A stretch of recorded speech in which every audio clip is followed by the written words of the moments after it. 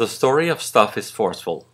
To get what we want, we have created a large, linear system that depletes forests, tears down mountains, empties lakes, erodes the land, desiccates oil fields, abuses the atmosphere, and exploits the poor in third world countries.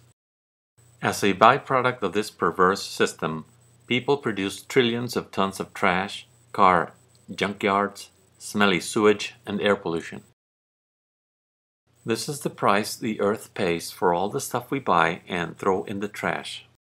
In fact, the story of stuff is so compelling that it invites us to take a harder look. So let's build a cybernetic model of the system that produces all of this. Human life on Earth is a never-ending process in constant evolution. It starts with a world with a given amount of resources. The process starts with the extraction of materials and energy which come in different forms and pumping them into the system.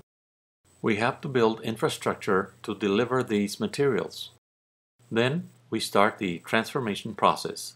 We have huge production lines in factories of all sizes.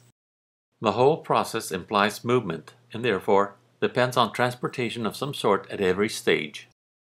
The goods produced go from warehouses to distribution all of which requires the support of personal services such as accountants, lawyers, doctors, chefs, etc. And so we arrive to the spending, buying, and consumption stage. After being used, stuff gets thrown away as trash. A small fraction is recycled and turned into new products. Another small portion is buried in landfills so that we don't have to see it. A lot of garbage is dumped in rivers and pollutes the oceans. The Pacific garbage patch is twice the size of Texas and continues to grow. 60% of all original rainforests are gone, while the rate of destruction is about an acre a second and climbing. The story of oil is even worse. Deposits in the Gulf of Mexico took 200 or 300 million years to accumulate and may be gone in less than 200 years, a million times faster. What has gone wrong? Large complex systems take a life of their own. Patriotic duty is not well suited to solve worldwide systemic problems. Wars target the destruction of resources. Global commerce externalizes costs. Poorly designed rule based bureaucratic systems are hard to kill, as the banking crisis has shown. To many, a free market economy translates into shopping is good Stafford Beer, father of management cybernetics, has said, the institution most needing reform to abide by cybernetic canons is government itself. This is what the whole system looks like at a global scale. Resources provide energy and materials that are extracted, transformed, transported, distributed, consumed. Waste and pollution are byproducts. Trash is incinerated, dumped in the open, buried, or discarded in rivers, lakes, and seas. The deadlier stuff is put in metal containers and stored forever with fingers crossed. What do we want from the system? Thomas Jefferson wrote, The pursuit of happiness, all sorts of human activities plus security, plus being free to do business. Add development, growth, and reproduction. Please notice that today most of the output is meant to go back to rebuild the different processes of the system. For instance, rebuilding, repairing schools, roads, and bridges. 200 years ago, there was no awareness of global constraints and no complexity.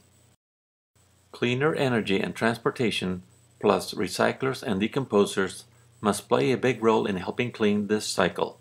The sun can help. What is missing in this picture? Markets are an important part of good government, but cannot see or prevent harmful systemic effects fast enough. The whole process must have some sort of management or government to ensure no unwanted side effects. How do we connect the process to the management? First of all, we must realize that management and government are metasystems, higher controlled systems. They don't produce anything directly. They are information intensive, not energy intensive, and follow very different rules. The viable system model connects operations and management according to cybernetic control principles, and the structure repeats itself at every level, as is shown here. A closer loop reveals a vertical command channel in the center, a coordination channel to the right in the yellow triangle. The white and red star represents a direct audit channel. On the left, with green borders, is a channel that connects horizontally with the environment. In the late 70s, Harvard's systems science pioneer James Grier Miller wrote a book on the functional similarities among living systems, as shown in this chart. His work validates our model for a self-sustaining world system. Stafford Beer's VSM also includes a protocol for collective decision-making, a computerized system for normative planning, strategic planning, and tactical planning, and an operations room for real-time management. To say that big business has government in its pocket is not the main problem. The potential energy for change exists, but it is dormant because self-indulgence is part of the consumer culture. Can we blame big business for seeking market share of reckless consumers? Governance requires thinking, creating, and expanding networks. Only networks produce thinking, if thinking is to be produced by a collective brain, then creating one requires deliberation, intensive exchanges of information that solve problems by successive approximation. Governance involves sharing information, setting goals, and new communication links, but most of all having the correct maps for navigating through the complexity. Internet offers a bypass to congressional feeble-mindedness. Computers can serve as variety amplifiers of responsible citizens. Only recursive mappings can beat complexity. Management cybernetics tells us how to redesign organizations so they become part of the circle of life and not a system for human extinction. The do's and don'ts that we are used to will have to change fast. Congressional committees are not effective managers of today's complexity. Each life function should have its own specialized elected officials or Congress, and they would decide on their own as to who would play a metasystemic role at the highest level. It should be obvious by now that the key to making humans preserve the environment is to restructure government to accommodate the cycle of life, not the other way around. Saving the planet has become an important collective issue.